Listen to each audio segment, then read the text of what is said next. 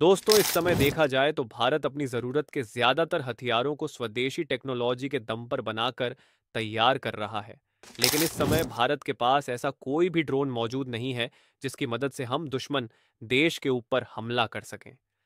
हमारी सेनाओं की इसी ज़रूरत को देखते हुए डीआरडीओ ने हमारी सेनाओं के लिए दो ऐसे ड्रोन को बनाना शुरू किया था, जिनकी मदद से हम काफ़ी आसानी से दुश्मन देश के ऊपर हमला कर सकेंगे। और इन दो ड्रोन में से पहले ड्रोन का नाम तो आर्चर होगा और जो दूसरा वर्जन होगा, उस ड्रोन को हम आर्चर एनजी के नाम से जानेंगे। जो आर्चर एनजी ड्रोन होगा, वो आर्चर ड्रोन से साइज़ में थोड़ा बड़ा होगा और ये अपने साथ में थोड़ा ज़्यादा पेलोड लेकर जा सकेगा।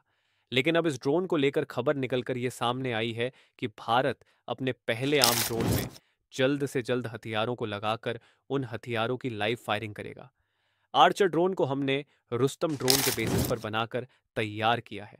आर्चर ड्रोन को शॉर्ट रेंज के मिशन को करने के लिए बनाया गया है, क्योंकि हमारे इस ड्रोन की रेंज केवल 220 किमी ही होने वाली है, और यह ड्रोन केवल बाईस हज़ार फीट की ऊंचाई पर ही उड़ान भरने में सक्षम होगा। और इस ड्रोन का एंडोरेंस टाइम यानी कि इस ड्रोन की उड़ान भरने की क्षमता केवल 12 घंटे होगी और अब डीआरडीओ की तरफ़ से आर्चर ड्रोन के अंदर एंटी टैंक मिसाइल को लगाने की तैयारी शुरू कर दी गई है और इस आर्चर ड्रोन के अंदर और जिस समय एंटी टैंक गाइडेड मिसाइल को लगा दिया जाएगा, उसके बाद हमारा आर्चर ड्रोन काफ़ी आसानी से दुश्मन देश के टैंक बंकर रनवे को तबाह कर सकेगा और अब डीआरडीओ ने इस ड्रोन के अंदर एंटी टैंक मिसाइल को लगाने की प्रोसेस को शुरू कर दिया है। और आने वाले कुछ ही हफ्तों के अंदर अंदर हमको यह डेफिनेटली देखने को मिलेगा कि डीआरडीओ के द्वारा बनाए गए आर्चर ड्रोन अपनी पहली मिसाइल को दागेगा और अगर हम इस परीक्षण के दौरान सफल हो जाते हैं तो उसके बाद हमारी तीनों ही सेनाओं की तरफ़ से अच्छी खासी क्वांटिटी में आर्चर ड्रोन का ऑर्डर भी दिया जाएगा।